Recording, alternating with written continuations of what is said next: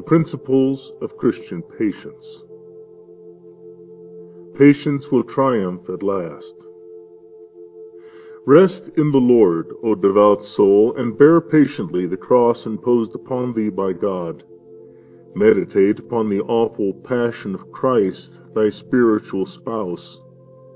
He suffered in behalf of all. He suffered at the hands of all. He suffered in all things. He suffered for all, even for those who despised his holy passion and trampled under foot the blood of the covenant, counting it an unholy thing. He suffered for all, even for those who despised his holy passion, and trampled under foot the blood of the covenant, counting it an unholy thing. He suffered at the hands of all. He is delivered up. He is stricken he is forsaken by his heavenly Father. He is deserted by the disciples whom he loved. He is rejected by the Jews, his own peculiar people, who chose the robber Barabbas instead of himself. He is crucified by the Gentiles. He bore the sins of all mankind, and so the whole race was concerned in the guilt of his death. He suffered also in every conceivable way. His soul was exceedingly sorrowful, even unto death. And overwhelmed with a sense of the divine judgment, he cried out on the cross that he was forsaken of God. His body sweat, as it were, drops of blood. His head is crowned with thorns. His lips taste the bitter myrrh. His hands and his feet are pierced with nails. His side is lacerated with a spear. His whole body is scourged and stretched upon the cross. Ah, he suffered hunger, thirst, cold, contempt, poverty, insult, wounds, and the awful death of the cross. But oh, how unseemly it would be that the Lord should suffer thus while the servant lives in undisturbed joy! Oh, how unseemly it would be that our Saviour should be severely punished for our sins, and we should continue to take delight in them! How unjust it would be that the head of the body should be afflicted, and the rest of the members should not suffer with it! Nay, rather as it behooved Christ to suffer and thus to enter into his heavenly glory, so also we must, through much tribulation, enter into the kingdom of God. Think of the inconceivable reward held out to thee. For I reckon that the sufferings of this present time are not worthy to be compared with the glory which shall be revealed in us. Whatever our suffering may be here, it is only for a time; nay, it is sometimes but for a day; but the glory that awaits us is for ever and ever. God knows perfectly all our adversities, and some day He will bring them all into judgment. Oh, how distressing it will be for us to appear in that august gathering of all the universe without the ornaments of the cross and of our sufferings for Christ upon us. And God Himself shall wipe away all tears from their eyes. O happy tears, which such a hand of such a Lord shall wipe away!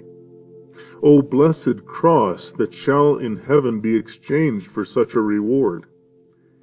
Scarce ten years did King David spend in exile but for forty he ruled his kingdom. Here we may see prefigured the brevity of our life of suffering and the unending glory which is to follow. 'Tis but a mere point of time, after all, in which the saints of God, often objects of the world's pity, suffer the hardships of the cross.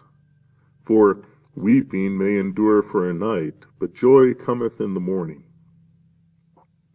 Consider, moreover, the tribulation which the saints of the past have endured. Behold the patriarch Job, as he sat down among the ashes to weep. John the Baptist fasting in the wilderness, Peter extended upon a cross, and James beheaded by the sword of Herod. Think of Mary, the blessed mother of our Saviour, standing with pierced heart under the cross, who in some sense becomes a type of Christ's church, the spiritual mother of our Lord. Blessed are ye, says Christ, when men shall persecute you, and shall say all manner of evil against you falsely for my sake. For so persecuted they the prophets which were before you. O glorious persecutions, which link us to the apostles and prophets, and to all the saints, aye, to our blessed Christ himself. Let us patiently suffer then with the saints of God who have suffered in this cause let us even rejoice to be crucified with those who have been crucified, that we may at last be glorified with those who have been glorified. If we are indeed sons of God, let us not refuse to share the portion of the rest of his children. If we truly desire to be heirs of Christ, let us joyfully accept all that heirship involves.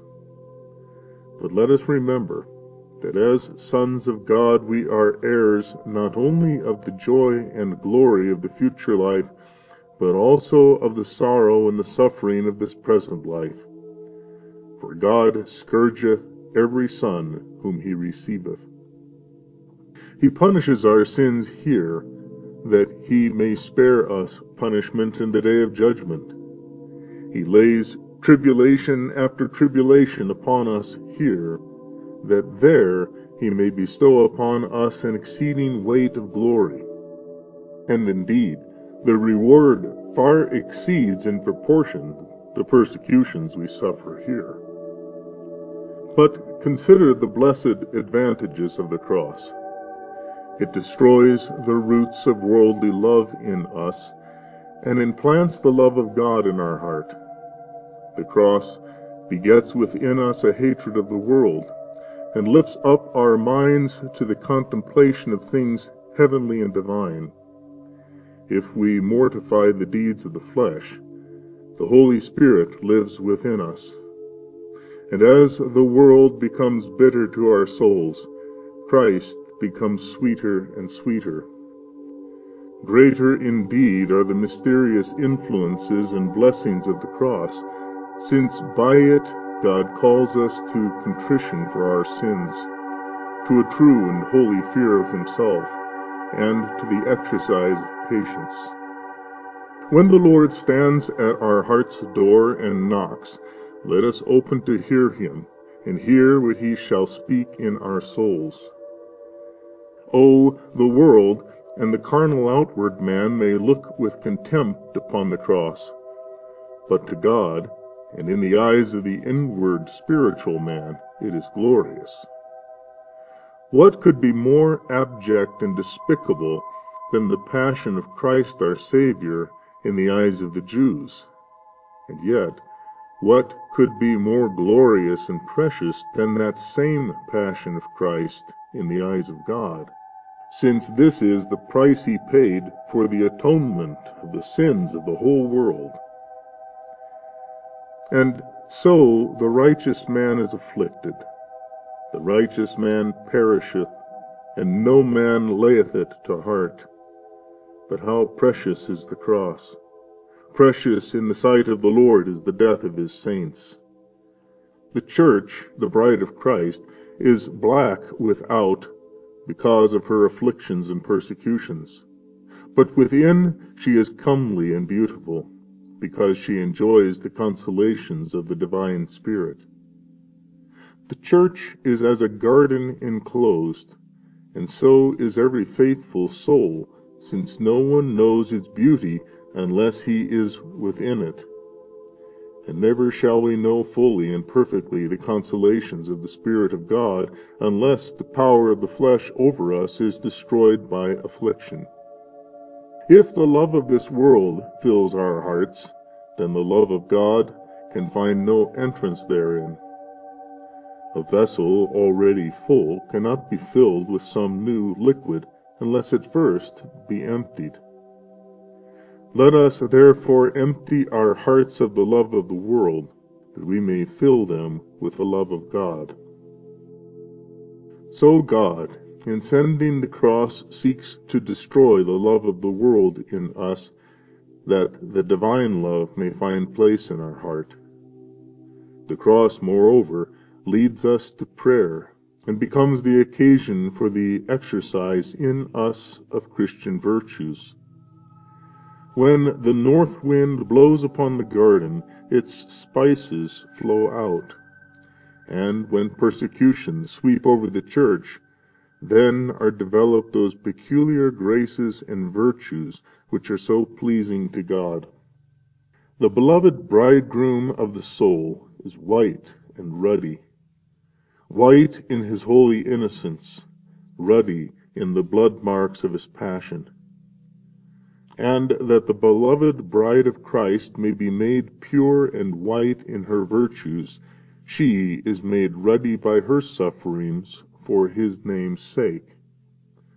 From the hardest stone of our afflictions, divine grace can bring forth oil and honey, and from the bitter root of present suffering, the sweetest fruit of eternal glory. And to this eternal glory, O Jesus Christ, lead us on and on, and to its blissful enjoyment finally bring us. Amen.